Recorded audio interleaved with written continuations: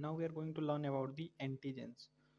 So first question arises what is the definition of an antigen? Antigen is any substance which is capable of generating immune response which is specifically directed at the inducing substance.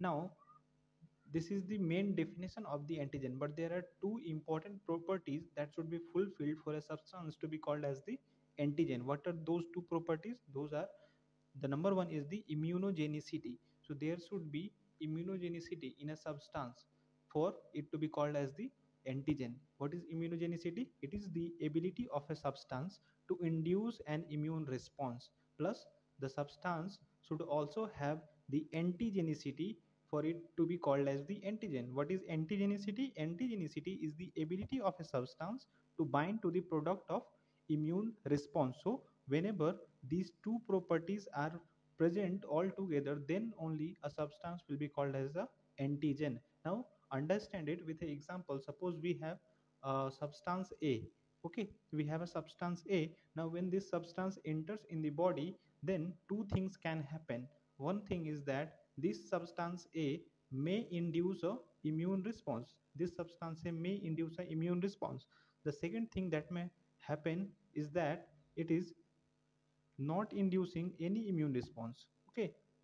It is not inducing any immune response. Now when there is induction of the immune response then of course there will be production of the antibodies at the final stage like there is formation of a anti-a antibody. Suppose there is formation of anti-a antibody. So here we are seeing that this uh, substance a this substance a is able to produce the immune response and the final uh, product of the immune response is anti-A which will be able to bind to the antigen.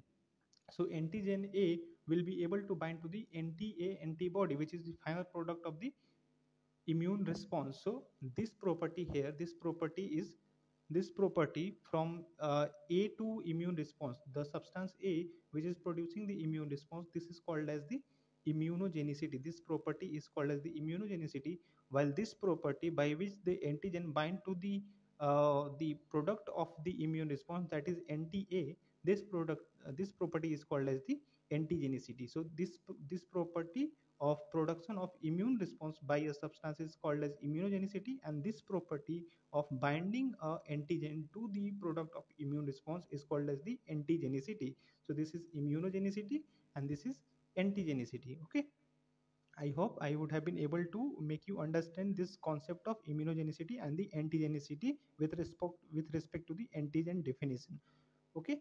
Now, uh, with respect to these two definitions, one very important explain why question is asked in the university exams. That is, all immunogenic substances are antigenic. All immunogenic substances are antigenic, but all antigenic substances are not immunogenic. What does that mean? That means if a substance is able to produce an immune response, then it definitely would be able to bind to the product of the immune response. Like substance A, it was producing immune response and it was able to bind to the final product of the immune response that was anti-A antibody, isn't it? So that is true in all the immunogenic substances cases okay? So if a substance is immunogenic that means it will definitely is going to bind to the final product of the immune response. But the reverse is not true. That means if a substance is binding to a product of an immune response that does not mean it has induced the uh, production of that uh, immune response okay?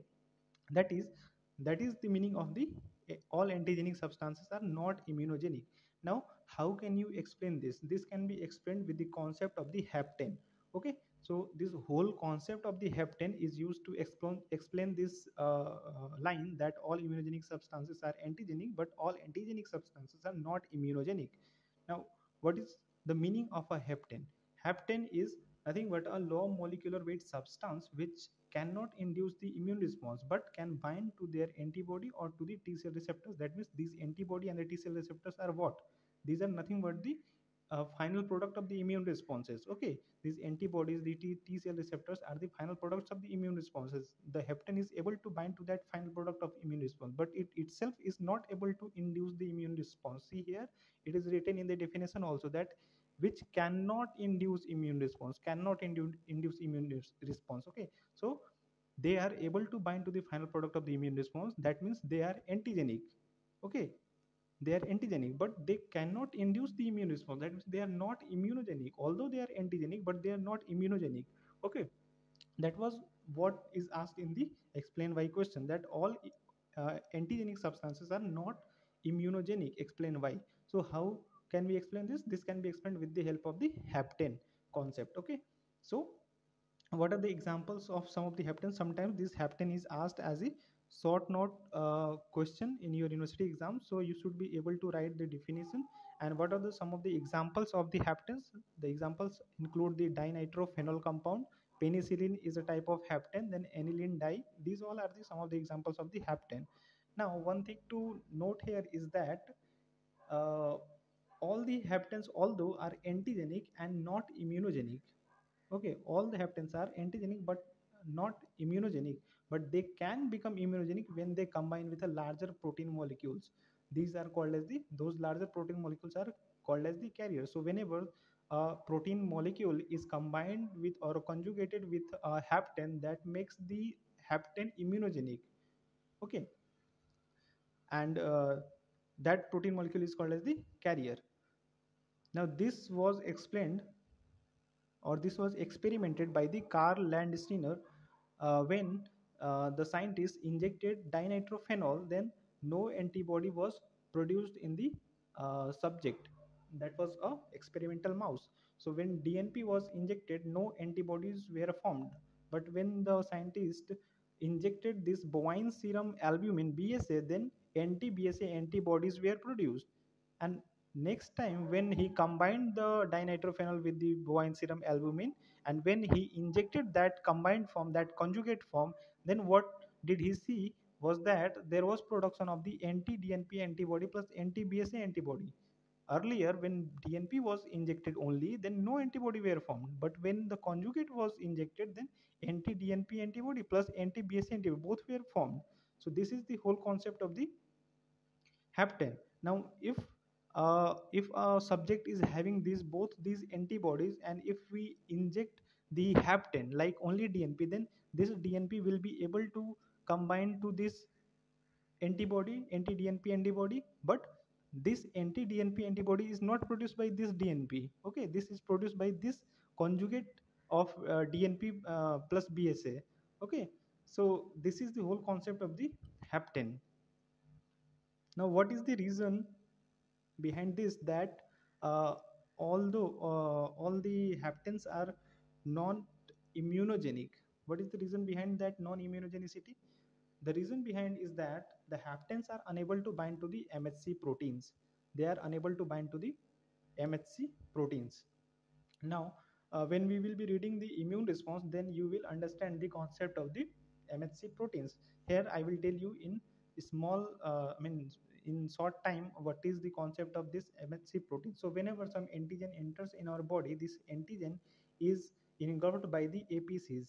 APCs are the antigen presenting cells such as the macrophages, the dendrite cells and the B cells. These are the three principal uh, antigen presenting cells in our body. Now when this uh, antigen is engulfed by a when this antigen when this wait when this antigen is engulfed by this uh, APC this APC then what happens? These apcs has mhc molecules over the uh, over their surface. And these what what do they do is that these apcs present these um, these apcs present the antigens over their mhc molecules.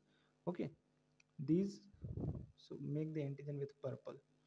So that it becomes easy. So uh, these apcs will present this antigens over their MHC molecules. Okay, they will present this over their MHC molecules to the T cells, to the T cells. So they will be presenting to the T cells. Now, and then further immune response happens. Now, if this uh, hapten, if this is a hapten and it is not able to bind to the MHC proteins, then how will these APCs will present this uh, hapten to the T cells? That means these uh, antigens these haptens will not be able to be uh, i mean uh, they cannot be presented to the t cells because they are unable to bind to the mhc molecules of the apcs that means there will be no immune response further.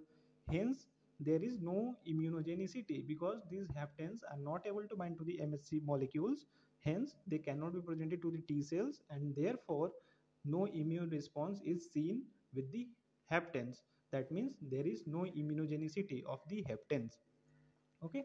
So that's the reason behind the non immunogenicity of the haptens now what is the types of haptens the there are two types of haptens one is the complex hapten and the simple haptens the complex are the polyvalent haptens and they precipitate with the specific antibodies while the simple haptens are univalent. There is single epitope and they cannot precipitate with these specific antibodies so remember complex can precipitate. Complex can precipitate and they are polyvalent.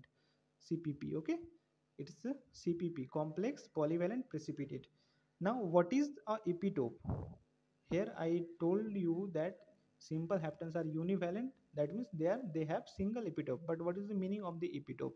We know that all the antigens bind to the that all the antigens bind to the antibodies with some uh, specific sites over their surface. Now that specific small area over the antigen by which that antigen bind to the target cell or target antibody that area is called as the epitope okay? Suppose this is a big uh, antigen. This is a big antigen we have but this big antigen also have a small area like this. This has a small area like this by which it's uh, it is going to bind to a antibody or to a by which it is going to bind to antibody or to some other uh, cell.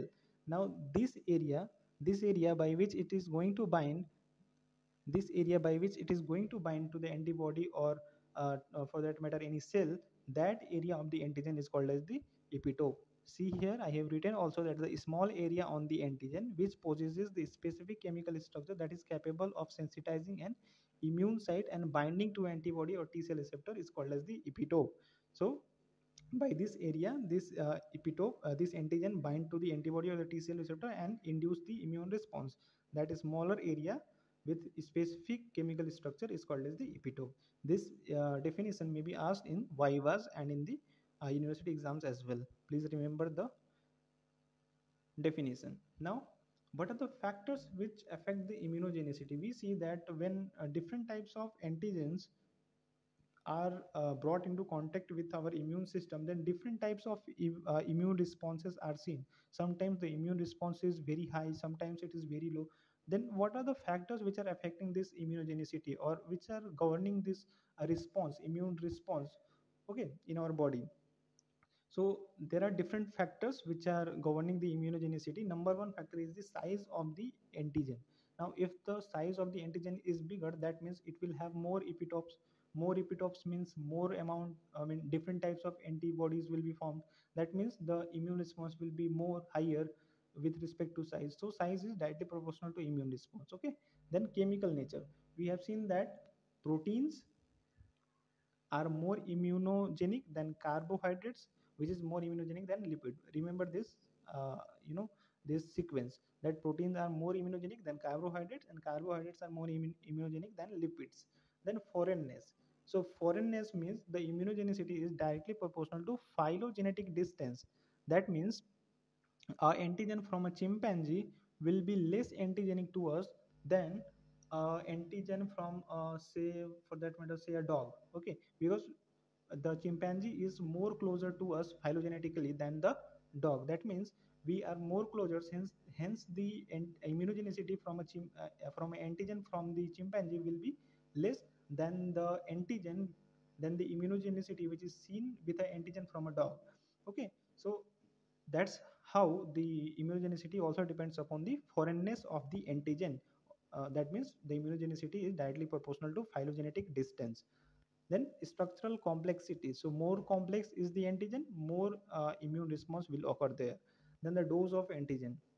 Now dose of antigen is also governing this immunogenicity. More is the dose more will be the immune response. Then route of uh, antigen entry. So if the entry is occurring by the intravenous route there will be more immune response because it is directly uh, entering into the bloodstream. Then multiple antigens together of course there will be more immune response. Okay so these are the different types of factors which are affecting the immunogenicity. May be asked in the uh, university exam so please prepare for it okay then uh, a definition may be asked that is the adjuvants. What are adjuvants? Adjuvants are the substances which enhance the immunogenicity of an antigen. Now you will understand it with an example. We initially in our uh, national immunization had uh, you know the uh, diphtheria and tetanus toxoid together. We were uh, giving the diphtheria and tetanus together. But later on the scientists found that when we add the uh, the you know the pertussis component in that uh, diphtheria and tetanus toxoid vaccine then the immunogenicity of the diphtheria and the tox tetanus toxoid also increases. Okay that means the pertussis here acts as the here acts as the adjuvant for the diphtheria and the tetanus toxoid vaccines. So hence after that we started giving the dpt vaccine. That means diphtheria pertussis tetanus together. So here in the dpt vaccine the pertussis component act as the adjuvant for the diphtheria and the tetanus toxoid components of the dpt okay? So this is the meaning of the adjuvants. Here the pertussis component is acting as the adjuvant. Okay? So please remember the definition of the adjuvant. That is a substance that enhances the immunogenicity of an antigen. Okay? So that's all about the first part of the antigen rest part we'll see in the second part of the antigen